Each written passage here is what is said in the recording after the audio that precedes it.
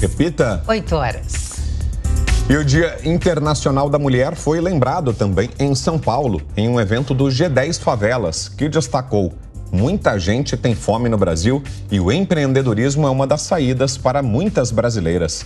Álvaro Nocera. Com a presença de empresários e famosos, o G10 Favelas promoveu em São Paulo o jantar solidário em prol da campanha A Fome Tem CEP, Raça e Cor. No Dia Internacional da Mulher, elas foram as grandes homenageadas do evento.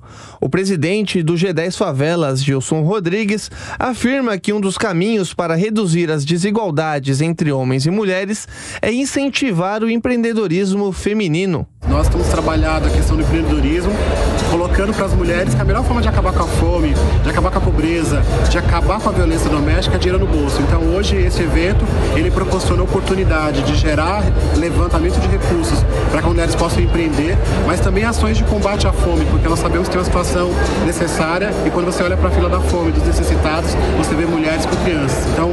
Hoje esse evento é uma grande mobilização da sociedade, trazendo como marco o Dia Internacional da Mulher, mas para levantar recursos para que as mulheres possam é, combater a fome e poder empreender e transformar sua vida. Segundo a ONU, no Brasil há cerca de 21 milhões de brasileiros em situação de insegurança alimentar. E o G10 Favelas tem o objetivo de reduzir este número. No último jantar, em novembro, o grupo lançou uma campanha para chegar a 100 mil cestas básicas doadas. Segundo Gilson Rodrigues, a meta está próxima de ser batida. Nós estamos fazendo, desde o jantar anterior em novembro, uma super campanha chamada Invista nas Pessoas, Invista na Mudança de Combate à Fome, onde nós já arrecadamos 85 mil cestas com uma meta de é, chegar a 100 mil cestas. Está quase lá. Nós acreditamos que a partir deste evento ganhamos um novo fôlego para arrecadar mais cestas e aí fazer um grande marco que é, em parceria com a B3, tocar o sino da Bolsa de Valores, juntando a sociedade, as empresas doadoras e pessoas que contribuíram neste momento importante. Gilson diz ainda que os brasileiros estão se tornando cada vez mais solidários. Nós acreditamos que os brasileiros estão acostumando a ser mais solidários fora das épocas de tragédia. Em geral, há comoções de enchentes ou alguma coisa que acontece, as pessoas ajudam naquele dia pontual.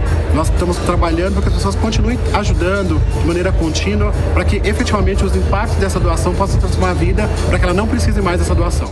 Desde o início da pandemia, a ação integrada pelo G10 Favelas já distribuiu mais de 5 milhões de cestas básicas em todo o país.